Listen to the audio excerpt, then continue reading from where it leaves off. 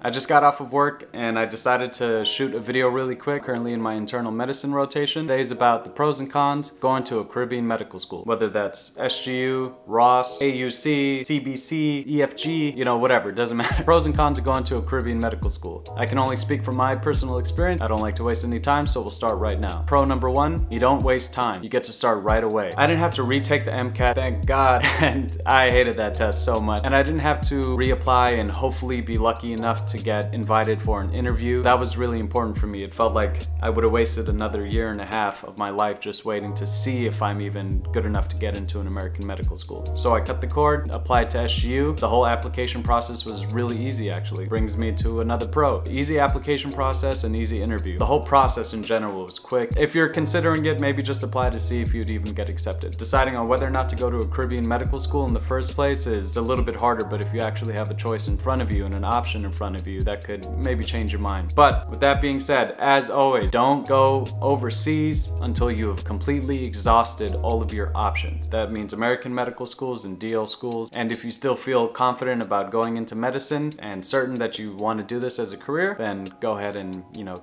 give yourself a shot. Another pro, you're gonna be completely away from your friends and family. There's nothing better than being able to focus 100% on your craft. There's something about when you go, you know, overseas, everybody just kind of leaves you alone because they know you're trying to do big things and they'll give you the space to, to work it out. That was great. There was no distraction, you know, there were no birthdays I had to get to, no no no obligations other than studying basically and that was priceless for me another pro you're completely surrounded by medical students. There's nothing more motivating than being surrounded by others who are doing the same exact thing as you and thinking the same things that you're thinking. Just trying to make it through your classes, make it through your exams, and make it through the semester or year. Being away from your family and being surrounded by other medical students and a larger number of medical students, I think those are two things that work really well together into helping you kind of get in that mindset of do or die. I have a big investment on my future and on myself, so let me go and give it all I got. I really appreciated that. Another pro is that you're gonna meet some really amazing people. No matter what medical school you go to anyway, these are gonna be some of the hardest times of your life. I guarantee you, you're gonna make a lifelong friend, if not multiple lifelong friends that you're, you're gonna keep close for a long time, lifelong. So yeah. And some days you're really gonna lean on them. You're really gonna look towards them for support just to help you get along this difficult time in life, challenging and difficult time in life. Another pro, island life. I don't know if you like that. Oh, that actually I didn't even I just like, I'm from Hawaii, so that's why I love that thing. I like to think it's a coconut tree, not a palm tree. Anyway, whatever. Weather is usually always around 85 degrees, depending on what island you're on. Can rain sometimes, uh, it is humid. I kind of, I grew up in that weather anyway, so I, I really like that weather. Great views. You're gonna be studying 90% of the time anyway, so views don't really matter, but when you're on edge and you're about to lose it, it could help to step away and be able to look at some of the most scenic views you've ever seen. Okay, now on the dark side. Let's start off with the most important thing. There's a certain stigma that comes along with being a Caribbean student or being an IMG. I feel that for a majority of your medical school career, that stigma is mostly self-made. I've never been mistreated by other students, other attendings, other residents, or hospital staff just because I went to a foreign medical school. I've been getting a few questions about that. No, I've never experienced any type of malice towards me for where I came from. At the end of the day, as soon as you get a residency position, you guys are all equal. Uh, not, none of that matters anymore. Nobody's gonna ask you where you came from. As for the stigma, I think a lot of that is in our heads, but I mean, obviously, this is where the important part comes in when you're trying to apply uh, to residency positions. They always say that when residency programs have, for example, two students who are completely matched they both hit, say, a 230 on their step one score, and they both have equal credentials and whatnot. One is from a US medical school, the other is from a Caribbean medical school.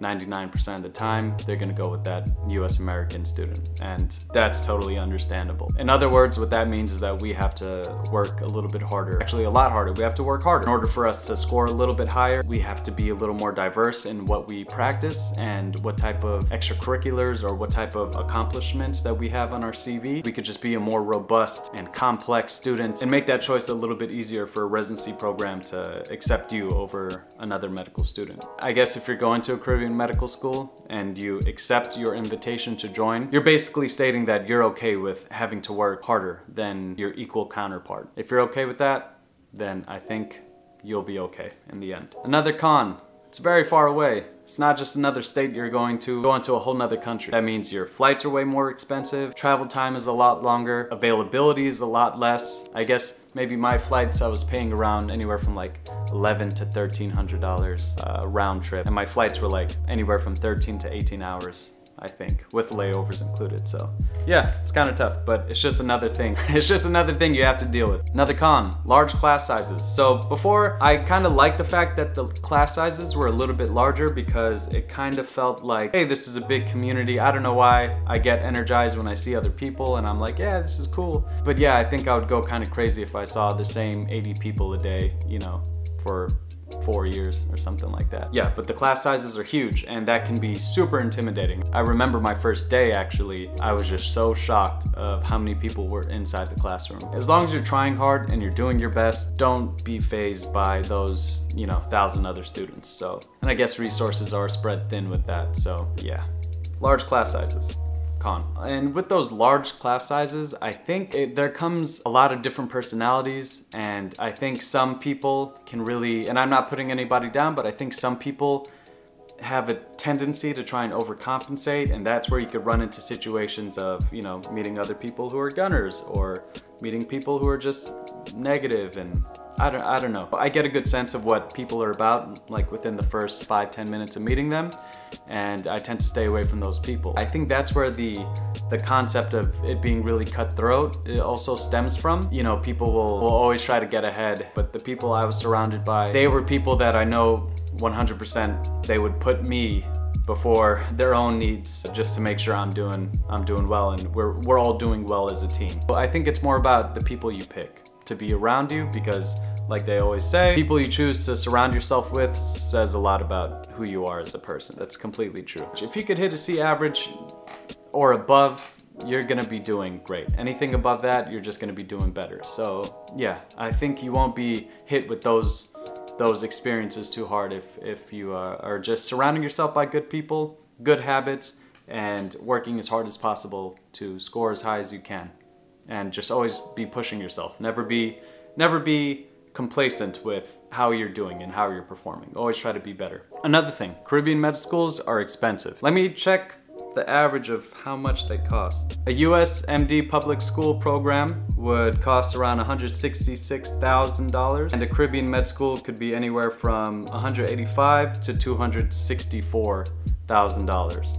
Right now I'm in, I'm about to start my fourth year and I know I'm already over $300,000 in debt. So, yeah, dope. Another crappy thing, the mosquitoes. That sucks. Another thing, when I was going to Caribbean Medical School, the general rule was two strikes and you're out, basically. Meaning you go through a term, you fail that term, you get to try again for free. But if you fail that again, then they have the right to excuse you from their university. So that was the rule when I was going in, but things have changed, especially towards like my fourth and fifth term there. I would start hearing things about changing their rules about how many times you could repeat a term. Make sure you do the research on that. I, I've heard that now you could repeat a term multiple times. Make sure you vet that information yourself.